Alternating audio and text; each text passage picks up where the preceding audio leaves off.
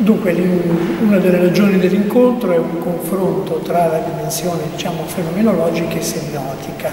sapendo però che la semiotica ha una, dire, due teste, una è l'aspetto formale, logico e categoriale e l'altro è la dimensione fenomenologica da cui è stata influenzata soprattutto attraverso Merleau-Ponty. Ora oggi la discussione sull'abitare porta sulla questione appunto non della costruzione dell'abitato, ma in qualche modo come viene vissuto eh, l'abitato stesso, una prospettiva residenziale più che una prospettiva architettonica. E il problema sono le, i tipi di significazione che eh, ci dà l'abitare, intendendo per abitare naturalmente non solo la casa, ma la dimora, e intendendo per dimora evidentemente non solo diciamo così, il costruito, ma tutti i tipi di dimora, che non sono soltanto le varietà come so, la tenda, il nido la capanna,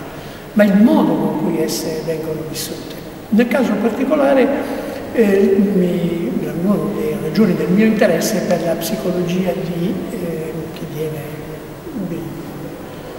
certo tipo di psicologia ecologica che tiene conto soprattutto dell'insieme del contesto eh, in senso largo, cioè il contesto vissuto, quindi l'ambiente, dentro cui eh, diciamo così, c'è l'atto, i percorsi, i sentimenti dell'abitare. Ecco, da questo punto di vista mi utilizzerò come corpus l'opera di, di Ghirri, che è un grande fotografo, non solo giustamente degli interni, come si dice, ma di quel vasto spazio dentro cui viviamo e a cui diamo significato. Nel caso particolare si tratta dello spazio esterno,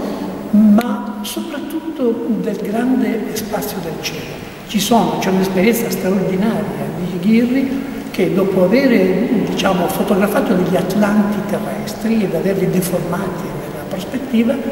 ha fotografato il cielo, cioè 365 fotografie, una al giorno, di fotografie del cielo. Ecco, io vorrei soprattutto soffermarmi su quelle fotografie che sono in cui il cielo è soltanto un riquadro blu, tentando di definire da questo punto di vista il blu del cielo come una specie di ur fenomeno, come, come si potrebbe dire, una fenomenologia senza fenomeno.